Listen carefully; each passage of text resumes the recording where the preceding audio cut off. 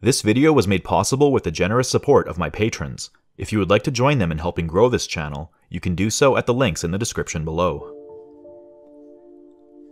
Every day, German pedestrians pay a small tribute to victims of Nazi crimes as they walk by and acknowledge Stolperstein, or stumbling blocks, laid down in their path. These stumbling blocks, although most prevalent in Germany, can be found all across Europe and serve as a way of honoring those who were lost and ensure that their stories are not forgotten. Each stumbling block, or stumbling stone, is located outside a business or residence owned or occupied by an individual who was euthanized, forced to migrate, imprisoned, or exterminated by the Nazis. Many of the stumbling stones commemorate the Jews, Roma, Poles, homosexuals, the physically or mentally disabled, Jehovah's Witnesses, black people, socialists and communists, as well as other resistance fighters that helped undermine the Nazi regime. Most of the stones contain the header, Here Lived, followed by the name and life date of the person known to have resided at that location, as well as the date of their deportation. The Stumbling Stone Project began in 1992, 50 years after Heinrich Himmler signed the Auschwitz Decree, ordering the deportation of Sinti and Roma people to the extermination camp.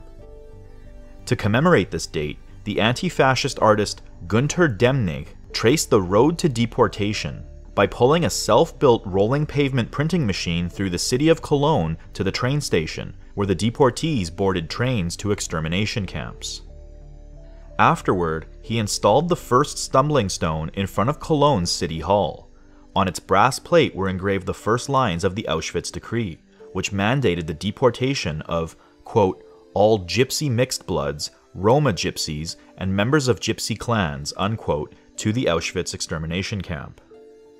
When Demnig planted the first stumbling block, it was intended to highlight the widely ignored persecution of Roma and Sinti populations from Germany, but gradually expanded into a historical commemoration project to include all victims of Nazi persecution. Demnig decided to commemorate each individual victim with their own stumbling block, because many of the victims of Nazi terror perished in the Holocaust or battlefield and were never given a proper memorial. When Demnig partnered with Michael Friedrich Friedlander in 2005 to help manufacture the brass plates for the cobblestones, the project quickly took off. By 2007, the pair had laid 13,000 stumbling stones across 280 cities.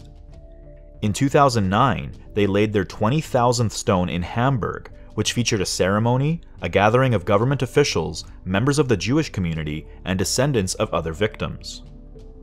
By 2011, they had laid their 30,000th stone, which extended the project to roughly 700 cities, with many well beyond the borders of Germany.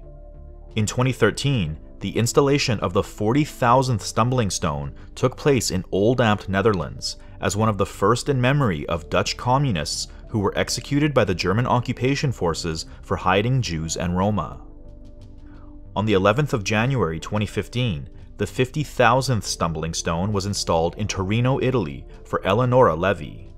On the 29th of December 2019, the 75,000th stone was installed in Bavaria for Martha and Benno Rosenbaum.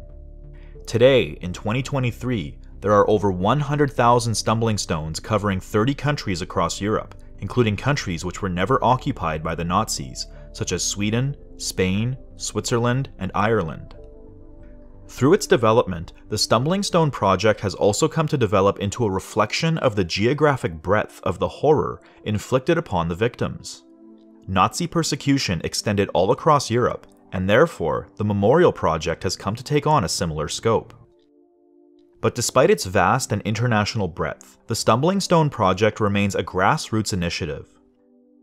Local groups, often residents of a particular street, or school children working on a project, come together to research the biographies of local victims and raise the 120 euros it costs to install each stone. Community groups maintain and clean existing memorials and help research the names and identities of people they wish to commemorate in the future. But while the Stolpersteine project is an inherently collective endeavor, the characteristics of the project bear the unmistakable print of the artist. Gunter Demnig never shied away from making political points through his artwork, and is quite familiar with the idea of using an expansive geographic territory as his canvas. As a student, he became politically active and outspoken with his provocative art exhibits that were critical of society, politics, and state violence. In 1968, protesting against the US invasion of Vietnam, he painted a US flag on the window of his art studio in Germany, which replaced the stars with skulls, earning him a brief stint in jail. In 1970, he marched for 21 days in protest of the blind hype in the emerging art industry, specifically around the question of when an artist can truly consider themselves an artist. On his 818 kilometer journey, he applied 1.5 tons of paint to the road with the assistance of a self made printing wheel, which read Duftmarken Kassel, Paris Demnig 80 which once again earned him the attention of the authorities. In 1981, he used another self made device to disperse animal blood along a pathway or a blood trail from Kassel to London's Tate Gallery. The year after, he spanned an Ariadne thread over 1,000 kilometers from Kassel to Venice, and in 1984, he buried canned landscapes along the path of his trek across the Alps. Demnig's Stumbling Stone project emerged from and carries similar characteristics to these previous works, but the significance of the Stolpersteine project is in how its permanence uniquely grounds and maintains collective memory. Demnig often quotes the Talmud, which says that a person is only forgotten when their name is forgotten, his decision to use mini memorials is therefore rooted in the need for each individual victim to be remembered as individuals with names, homes, and lives that were once lived where you are standing. Most of the victims of the Nazis were Jewish, and therefore most of the stumbling blocks commemorate Jews. But the Stumbling Stone Project extends recognition to all persecuted minorities under Nazism, and in fact began by highlighting the persecution of Roma and Sinti, as the years passed, it also came to highlight the extent to which homosexuals, communists, the disabled, criminals, or other quote anti-social elements were targeted as well. In an interview given before laying two stones outside a house in Cologne, Demnig explains, Here we have a mother who has been stigmatized for being antisocial. The child was placed in a children's home. Both were murdered. On the 23rd of October 2018, a small ceremony gathered to commemorate the installation of a Stolperstein in Frankfurt, Germany. This particular stumbling stone was in memory of a disabled man named Willy Zimmerer, a victim of Nazi euthanasia who was murdered at Hadamar on the 18th of December 1944 at the age of 43.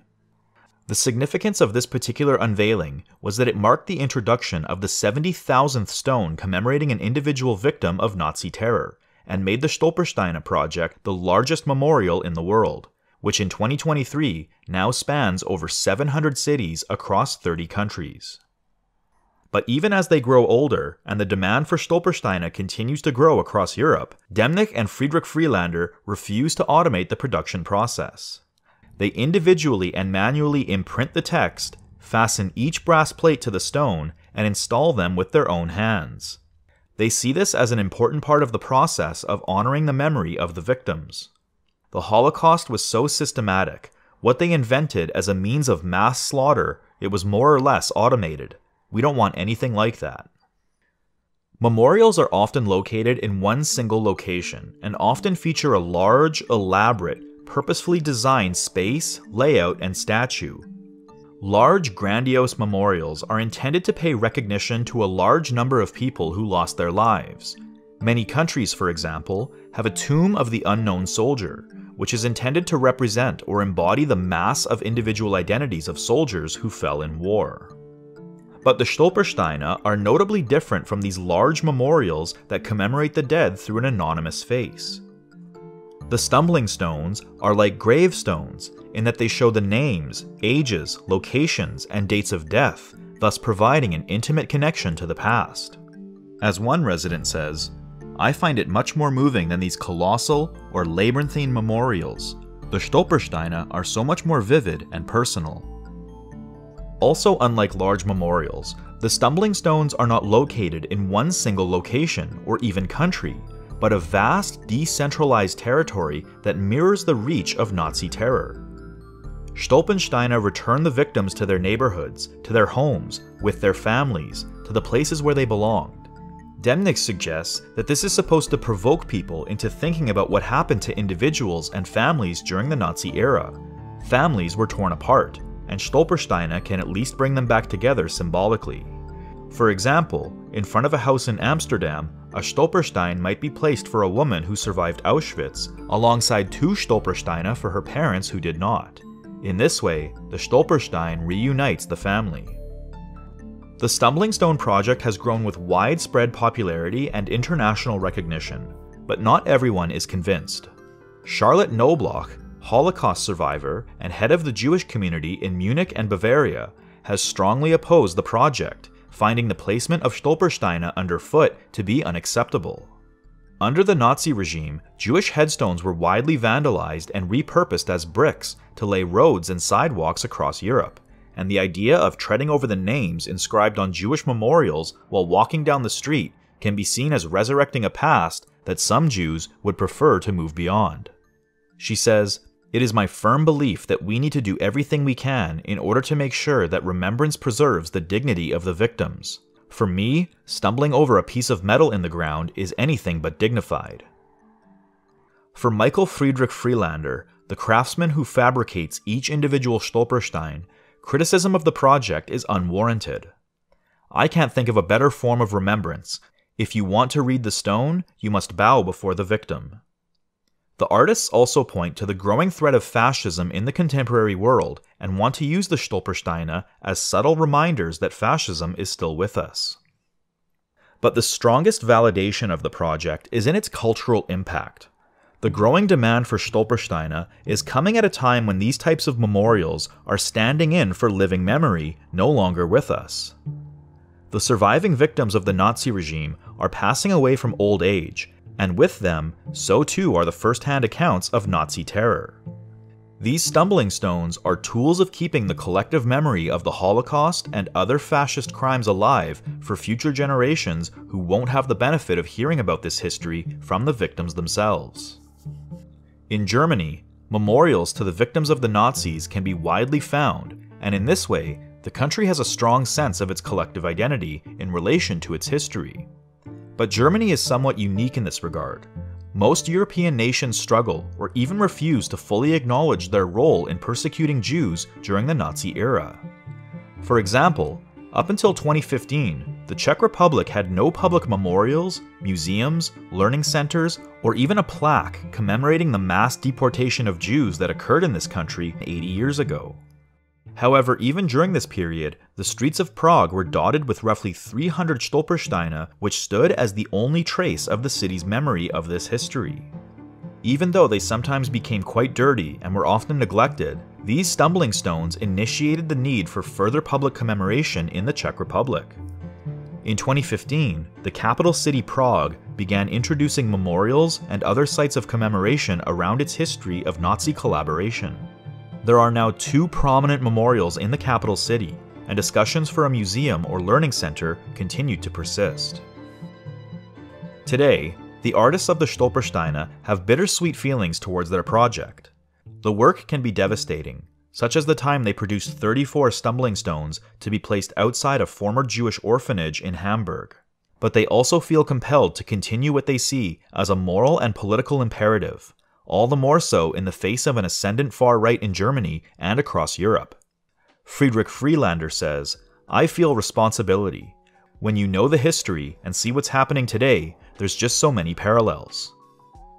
To their pleasant surprise, the project has slowly become more popular each year and has surpassed the expectations of the artist, with Demnig saying that he expected maybe a few hundred or a thousand stones, but he never dreamed that the project would take off like this. From the outset, Demnig always understood that this project would never be able to pay full commemoration to all the individual victims of Nazi terror, and although the goal is to keep the project going, it will always remain incomplete and therefore theoretical. Each individual Stolperstein is part of the broader totality of the project, which not only commemorates the individuals whose names are on the stones, but commemorates all the victims of the Nazi regime, and fights to prevent anything like it from happening again. More determined than ever, even in his 70s, Demnig has no plans to quit. As long as my knees are still okay, I'll keep going.